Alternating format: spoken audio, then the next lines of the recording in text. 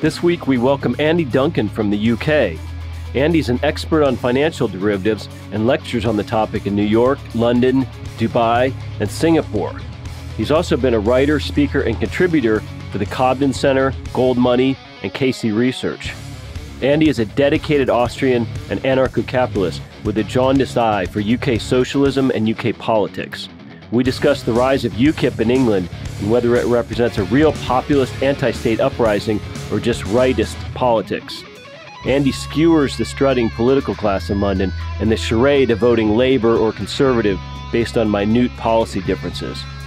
We also discuss the upcoming Scottish independence vote and whether the land that gave us Robert the Bruce and David Hume has succumbed completely to socialism. Could an independent Scotland become the Singapore of the North or just another Eurozone basket case? Stay tuned.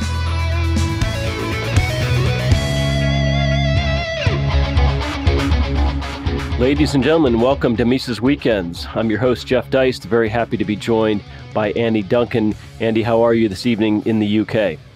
Well, it's very nice to be with you again, Jeff. Andy, I'd like to get your impressions about UKIP. In the Western media, it seems to be portrayed as a populist, nationalist, anti immigration movement, but I'd like your thoughts. Well, the thing about UKIP is it's, it's mostly a, a wing, really, of the Conservative Party. If, if you take the British Conservative Party from the 1970s, there were some very, um, what, what the uh, media would call right wing people in there, like Sir Keith Joseph and Margaret Thatcher and people like that. And there was also a big body of people behind them, and they wanted to be uh, independent with England. They wanted England to be like a like a free market, like a Singapore of the world, only a big Singapore. But the Conservative Party itself, the larger party, was much more kind of statist, socialist with a small s. So there was always this rump inside the Conservative Party. And about five, ten years ago, they just had enough these people, and they just created the UK Independence Party because they didn't believe the Conservative Party anymore, which which has always been um, playing the rhetoric of "we will leave Europe one day," uh, and they didn't believe it anymore, so they decided to go it alone. So that's how I see UKIP. It, it attracted a few people since then, as all political parties do. Once they grow power, they suck in intellectuals of various kinds. But the core to UKIP is a very what you might call what the what the media in this country would call a right wing Tory element. And it's very funny that today a Conservative MP, Douglas Carswell, has actually defected from the Conservative Party and has joined UKIP. Um, there might be about a dozen others in the Conservative Party in uh, in Parliament who might um, defect as well. He's standing again for Parliament in a few weeks' time or a couple of months. Uh, if he wins, I suspect a lot of Conservative MPs will ditch the Conservative Party, who are pro the EU, and will get out and will join UKIP. And that will hopefully um, wreck the Conservative Party. And so, just to clarify, there's no elected UKIP members of Parliament, i.e., in the House of Commons. Well, Douglas Carswell is technically uh, a UKIP MP now, but he has said that he will resign his seat immediately on this declaration today, uh, and he will stand for re election in what we call a, a local by election, probably in a couple of months' time. Uh, he has a very, very big majority at the moment of something like 28%, and he's very, very popular in his constituency. So the chances are that he will win, and then he will be the first UKIP um, member of parliament. Uh, Nigel Farage is going to stand at the next election, who you've probably heard of in the United States, uh, and he will probably win the seat that uh, he chooses, which I think is somewhere in Westminster. And I'm hoping that uh, I don't really follow politics that much, but when I do follow politics, I, I just follow the secessionary part of politics. And I'm hoping that maybe 10, 15, 20 UKIP uh, MPs will be elected at the next election. Though, of course, being a Hoppian, I don't vote. Well, what seems odd about the system in UK is that UKIP sends many members to the European Parliament in Brussels, but it's scarcely represented in Parliament. Well, the constituency elections are what we call here first past the post. So, a town, say like a Reading, which I live near, I live in Henley on Thames, say Reading will be divided into, say, five constituencies. And in each constituency, there'll be about 100,000 voters. Those 100,000 voters in each constituency will vote for one MP. So, if, say, everybody voted for one person, if everybody voted, if 51,000 people vote for one person, they become the MP. Whereas with the European elections, it's a big area and there's there's party lists. So Nigel Farage, I think, is an MEP for the southeast of England. So they take, you know, 15, 20 million people. Um, there's usually very low turnouts in these elections. And then depending on your vote across this huge area. I mean, nobody knows who their MEP is. I don't. Nigel Farage might even be my MEP, and I have no idea. Very few people do. Uh, there's a party list system comes in place, and then they just go down the lists and, until you've used up your your votes across this 15, 20 million kind of area. Andy, Scotland has a proportionally higher representation in Parliament. Is that correct?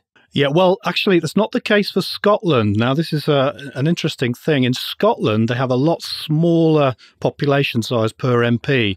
So, out of about 600 MPs or so, about 40 of them are Scottish. Now, if you were just to go on the population size, I, am not exactly sure of the exact numbers, but they'd only really get about 15 MPs. They have 40, whereas they should have 15. What this has done is this has created this huge kind of political uh, battering ram, the Scottish, uh, the Scottish political vote in the House of Commons. Um, if Scotland becomes independent, most of those MPs in the past have been socialist MPs, and so the Socialist Party in England, called the Labour Party, is going to lose a huge amount of power because they're going to lose all these Scottish MPs. And I think they only need about 30,000 people in each constituency in Scotland. Uh, and so almost the Labour Party uh, will become unelectable according to the current uh, democratic setup in the UK. And so the Labour Party is very, very keen on keeping the Union and stopping Scotland going independent, because if they let Scotland go independent, they'll lose these 40 MPs, they'll lose the balance of power, and then the Conservative Party in, the, in England will be the dominant power for decades. Let me ask you this apart from the political aspects, is there any libertarian element to the UKIP revolution? There is a tiny libertarian element in, in the way that, uh, uh, for instance, the EU has just, uh, on the 1st of September, is going to ban um, vacuum cleaners that have a certain wattage. Uh, this is, you know, obviously to keep the eco intellectuals on side, which, which all governments need the intellectual support.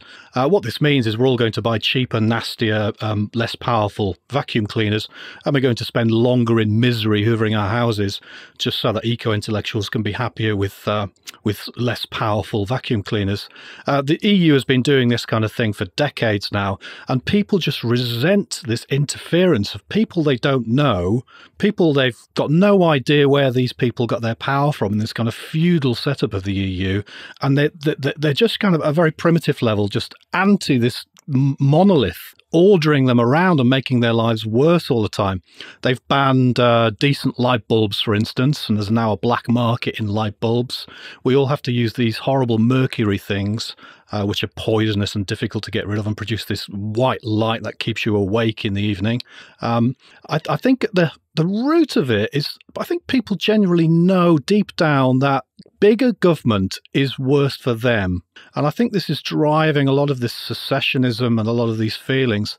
And obviously, as governments grow larger, more islands of socialism arise within the area that they control. And then we get more chaos. And we've seen with the EU, we've seen basically the destruction of Portugal and Spain and Greece and Ireland by, by the EU, um, these islands of socialist chaos spreading in the EU. Andy, as I mentioned to you, I would love to discuss the upcoming Scottish independence vote with you, although I fear I'm going to get some angry emails. Here I am asking an Englishman about uh, Scottish independence. Well, uh, my name's Andy Duncan, and uh, the first king of Scotland, according to some in 1034 was King Duncan I, and my clan, the Duncan clan, were at Bannockburn on the winning side. So I'm not entirely uh, English. I'm kind of culturally um, half Scottish. So I do have a little bit to say here. The thing about the Scottish vote is uh, they'll they'll probably lose. The secessionists, unfortunately, will probably lose, and the reason for that is because Scotland has been bought and paid for. I, th- I think it was Robert Burns who said uh, we're bought and sold for English gold, and a quarter of the adults in Scotland work for the British government, so they take a salary from the British government. There's, you know, maybe a million pensioners are all receiving British government pensions. Um, there's all sorts of, even private companies, a lot of their contracts are to the British government.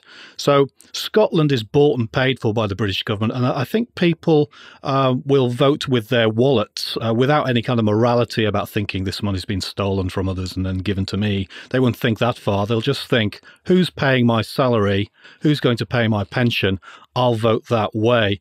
The general feeling in Scotland, though, is that people, you know, even in 1707 when Scotland uh, had this Act of Union, it was only the elite that did that. They they had this project called the Darien Project, you might have heard of, where when they were an independent country, they tried to uh, form a colony in Panama and they, they basically took all the money in Scotland, this political elite, invested it in these ships to go to Panama. Everybody died of diseases. Oh, they created a legal monopoly for the company there that had um, a legal monopoly for all trade in the world with Scotland, um, just like monopolies and um, elites do. Uh, these people all went there and died of dysentery and whatever down there, all, and the few that re- remained got killed by the Spanish. So the elite in Scotland were going to be poverty stricken, so they basically sold Scotland to the English in 1707. And all the people in Scotland were horrified by this. I mean, there'd been Bannockburn, there'd been the Battle of Stirling Bridge, there'd been an independent Scotland for a thousand years, and then it was just sold down the river by this elite in Edinburgh uh, for English gold. Uh, lots of the MPs in Scotland at the time, the political power elite uh, voted for the Union. They were paid off by um, backdoor uh, maneuvers. The treaty was rushed down to England under armed guard, massive armed guard. Uh, it was totally hated, this thing in 1707. And ever since, the people of Scotland have had this general resentment about English interference in their lives. And although many of them will vote to stay in the Union, there's still a general feeling of antipathy towards England, um, even though many will go into the voting booths on September the 18th and vote for the Union to remain. Andy, we were speaking off mic earlier about how we as libertarians tend to see secession and separatist movements as ever and always good things. Can you elaborate for us? Well, I think um, if you take an area, let's let's say there's two million people and there's a million people in one half and a million people in the other half, they'll have a, a, very powerful government. But if you split that area into two governments of one million people each, those two governments together are less powerful than the one big government alone. And if you break that all the way down to the, you know, the the, the county, the town, um, the local area, and then eventually the individual, every time you shrink a big government uh, in half, you more than uh, halve its power. And so the, the elite in the in Westminster in London, uh, for instance, are terrified of losing Scotland because once uh, we just become England here in England and, and not the United Kingdom, then all those people swanking around London in big cars and going to fancy foreign ministries and so on will will have less right to swank around like that. They'll have less right to to do these big foreign policy announcements. So I always believe that the smaller you can shrink government, the better, because every time you do that, you more than shrink the power uh, of the of the two governments which are left over. Can you give us your thoughts concerning how well the Scottish banking system and Scottish currency would operate without the backing of the Bank of England? Well, I mean, this is the great threat from the uh, from the No campaign, which is you you must stay with the UK and hold Auntie's hand. Scotland has a tremendous opportunity here to become a kind of free market Singapore of the North. I mean, many of our kind of free market and libertarian ideas come from Scotland. Uh, you've got David Hume and, and uh, Adam Ferguson and various others. I, I won't say Adam Smith because I know Murray Rothbard doesn't like Adam Smith. But many many of those uh, great libertarian ideas came from Scotland. Uh, and so it'd be great if they did form this free market place. And if they were booted out of the pound and then didn't have a central bank and had to bring in a currency board to follow the pound or a currency board to follow the the euro, um, what they what they would lose is this ability to print money out of thin air, which would which would mean that the government would shrink massively. If they can't print money out of thin air, they they uh, they they will just shrink, and the welfare state will shrink, and the state will shrink, and they really will have a Singapore of the North. And within 10, 15, 20 years, they'd have this massively wealthy, um, dynamic, unenterprising society. However, they don't quite see it like that. The SNP, which is the driving force of Scottish independence, is a mostly socialist organisation. And how they're couching it to the Scottish people is this you, yes, you will lose the English taxation for the welfare, but we will keep Scottish oil, and you'll get more welfare from the Scottish oil, none of whose revenues will go to England, um, than you will just being in the Union and receiving English taxation welfare. So that's how they're couching it: is you'll have even more welfare than you've currently got. Whereas I would love to see them argue you'll be freer, you'll be more independent. But uh, unfortunately, most people are terrified of being freer and more independent. They they just want a, a bigger a bigger nanny state. I think. Well, you bring up an interesting point. Independence seems to be a left wing phenomenon in Scotland, and it seems to be portrayed as a right wing phenomenon in England. Well, here's the weird thing. I, I, I think in the Labour Party, um, th- there's this deep antipathy towards uh, what Ayn Rand might have called the rugged individualist, uh, best summed up in the kind of Anglo Saxon free market thing. I mean, the Anglo Saxons, when they were in Germany, fought off the Romans, defeated them in the Forest of Teutoburg and then faced away that bureaucratic threat, and then eventually came to England, and then uh, were were quite free and independent, and had very strong freedom traditions. They took a lot of those traditions to the United States and, and to other parts of the world.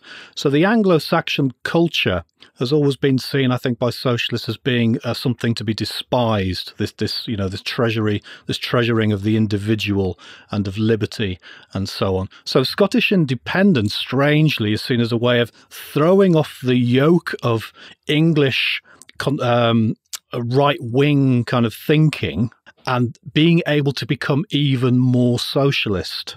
So it's it's it's the English who are seen, or the English mentality of uh, freedom and liberty, uh, maybe actually typified by Nigel Farage of UKIP, uh, which is seen as being the problem. So it's a great socialist thing to throw off the English yoke. Whereas in England, of course, uh, the socialists in England, most of whom there's millions of them, and lots of them read the Guardian newspaper, they love us to be in the EU because what that does is that's a big blanket over the, the kind of English free spirit. So the EU is a way of moderating this this this this Englishness, uh, this kind of um, Anglo-Saxon thing. So it, it it kind of works if you see it like that. Scotland wants to get away from England to throw off the English yoke of freedom, uh, and England should be kept within the socialist yoke of the EU to keep it in check. So perversely, it sounds like the rise of UKIP in England actually bolsters the yes independence vote in Scotland. Well, here's a weird thing. The UK Independence Party, led by Nigel Farage, uh, as, a, as a kind of a political statement is actually against Scottish independence, which sounds a bit weird, doesn't it? UK Independence Party is against Scottish independence.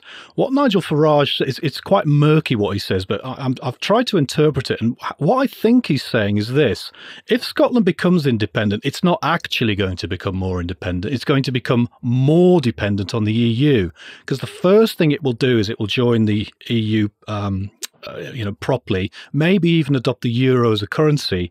And instead of becoming more independent and having a free Singapore of the Northern Hemisphere, it will just become another area inside the eurozone. So it will actually become less free than it currently is uh, joined to England. Andy, I'm sure you understand, as libertarians, it seems ludicrous that the Scots view the British government as some kind of bastion of free market thought. Well, I mean, that's the problem in the UK. I mean, I, I, I try to um, not be involved as much as possible, but we have three political parties here, three political elites.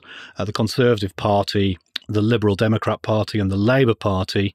And, you know, the Conservative Party is supposed to be right wing and the, the Labour Party is supposed to be left wing and the Liberal Democrats are supposed to be somewhere in the middle. But they they can all dance on the head of a pin.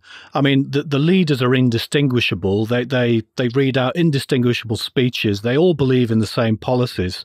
And when the horrible Gordon Brown the, the, Scottish Prime Minister was thrown out a few years ago in an election, and David Cameron, the Conservative Prime Minister, came in. I personally haven't noticed a single difference in my life. Absolutely nothing has changed. So they just dance on the head of a pin. It's all rhetoric. I think the British government spends something like 700 billion pounds a year, which is about 200 billion pounds a year more than they take in in tax, and they borrow the rest. And they, the three main political parties argue about spending measures of around 10 billion pounds. What's that? 700 billion pounds would probably be about uh, 1.2 trillion dollars. So they they argue that uh, they, they, they get really vitriolic about these tiny, tiny, tiny changes in policy from each other. So I, I find it very weird that we, we even believe that there's politics in this country. It's just a group of people who just play musical chairs every four or five years. If the yes on independence vote somehow was to prevail in Scotland, do you think that that would inform other separatist movements that are currently percolating in Europe? Well, unfortunately, I because of this uh, the bought and paid for nature of the Scottish electorate, I don't stay up late that night uh, burning any candles or anything. It's not going to be that exciting. It, the the no vote will win, and that they won't. I I, I would uh, I would bet a substantial sum of gold that uh, the Nova will win. However, just like Robert the Bruce, um, I do believe that they will try, try, and try again, and hopefully they will win eventually if they keep trying. The problem is, is once they have this vote and the, the, the independence vote loses, it might be another decade or so before they get to have another go. But you know, the spirit of Robert the Bruce will be there. I, I'm not a historicist like the Marxists, but I do believe, though, that as we get these bigger and bigger governments, we do get these bigger and bigger islands of chaotic socialism within the areas that these governments control, and that these um, these islands of chaos eventually lead to people wanting to secede away from the chaos. So, I actually personally think we have a greater chance of secession somewhere more like Texas, and that would be fabulous if Texas um, seceded rather than Scotland. However, I think it is good that at least they're trying and they'll probably get 40, 42, 43% of the vote. And the bigger the vote, if they got 48, 49, that would be fantastic because that would bring on the next secessionary vote to be a lot sooner, maybe within another five, six, seven years. So it does inform us that there's problems in the EU it does inform us that people instinctively know that smaller government is better for them as an individual. But I see the future of secession as being in other parts of the world. Andy, do you think the urban versus rural mentality still plays a big role in the UK mentality? I don't think it's an urban rural thing. I think it's more of um, uh, what some people in this country call the chattering classes.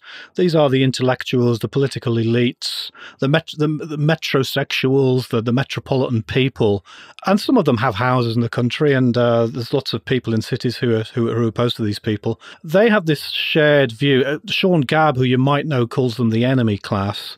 I call them personally the Guardianistas because their their house newspaper is this terrible rag called the the Guardian newspaper. It's more of an intellectual elite elite versus everybody else. So this intellectual elite read the Times, the Independent, and the Guardian, and they constantly bicker and chat about politics. They all in favour of the EU. They're all in favour of environmental measures. They're all socialists with a small s, even if they're in the Conservative Party. Their political positions are virtually identical in, in every possible way bigger government, bigger government involvement. But the mass of people who are just doing daily jobs, you know, being plumbers, uh, being truck drivers, um, delivering milk, or whatever, they just don't want any of this, but they're too busy earning money and paying taxes to, to take much notice. So it's not so much an urban versus rural thing, it's a political intellectual elite with a small s socialist thing versus everybody else. So in the last uh, Euro election, which UKIP won, I mean UKIP actually won that election. That uh, all the newspapers were against UKIP, Everyone was deriding them. Every day, Nigel Farage had some story made up about him, saying how he'd done this and he'd done that with this woman and he'd done this with this gambling and all fictional. Um, but the people saw the message and they saw what he was saying. And what he was saying is, you're better off without this massive superstructure of, of this elite and the costs associated with keeping them in the manner to which they've become accustomed. Andy, one last question in closing. Just give me your thoughts on the current state, if any, of the libertarian or Austrian movement in UK. Well, it's uh, the the problem with the libertarians in the UK is it, it's like cats in a bag. I mean, if you put thirty libertarians in a room, there'll be thirty different positions. Uh, it, it's it's quite frustrating at times. I mean, I go to the occasional conferences and um, I mean, people again, they'll, they'll be having vitriolic arguments with each other about the tiniest, tiniest thing. So this is why I always try and push push secession because we all believe in secession. We all believe in coming down to the individual, and I try to avoid conflict. Um, so the, and there's not many Austrians, and, and if they are Austrian, they tend to be Hayekian Austrians. This is because of the uh, the link with Hayek and the London School of Economics. And if you look, at, take a look at the most Austrian website in the UK, which is probably the Cobden Centre, which was founded by um, Steve Baker MP, who's a Conservative MP who's very much a Misesian. And it would be interesting if you got him on your program sometime to talk about his views. Uh, it, it's still a bit Hayekian. There's, there's this kind of in, in um, in the US, you've got George Mason University and you've got Auburn. I won't go into the politics of that because I might get slapped by you. But there's that distinct thing we have the same thing in the UK. We've got we've got most people are in Austrians are in London and they're Hayekians, and then there's a few of us, not many. I probably know them all, and I can probably count them all on one hand. Uh, a, kind of Misesian Austrians, but but we are working on things. I mean, watch this space. A few of us Misesian, Hoppian, Rothbardian um, Austrians are thinking about doing something, and uh, you'll be the first to know when or if we do that. But it, it, it's very much a mixed bag in the UK. Uh, it's it's very much a socialist country. Everybody believes in democracy. Every most you know, except for a tiny, tiny handful of people, believe in socialism of one form or another, i.e., statism and government intervention and government running the schools and government running the NHS, the National Health Service. I mean, you're having a taste of that now with Obamacare, and you're seeing what that's like. Um, most people believe in the state in this country, and even getting your hair cut at a barber. I mean, I, I can hardly dare say anything because a, a, barber almost threw me out of a shop, uh, his barber shop recently, with half a haircut because I dared say something that didn't believe in the state. And uh, the, the, the whole of society is riven with this belief that uh, you know, you, you, are owed welfare and that the state has the right to do this and the state has the right to do that. I mean, just this year, uh, children are now being compulsorily kept in education from 16 to 18. So, I mean, I see I see state schools as basically day prisons, and so there's two more years of day prison being forced upon people, and that pleases the teaching unions because they get to have more more jobs and more work and more bureaucratic privileges, and ev- everyone's just gone along with it. There hasn't been a single murmur of complaint that I've seen anywhere in any of the press, and these kinds of constant abrogations of people's rights are just going on all the time. So, with uh, with the vacuum cleaner ban of anything that's too powerful. You know, there's a few there's a few murmurs of complaint, but hardly anybody really challenges the right of government to decide how powerful your vacuum cleaner can be. So, libertarian movement in England very small, very um, not not not very strong. Everyone's against each other. Everyone holds different positions, but there are a few of us who are trying to work on making something stronger and basing it securely upon Misesian Austrian economics. Andy, thank you so much for joining us. Thank you for a fascinating interview. Ladies and gentlemen, have a great weekend.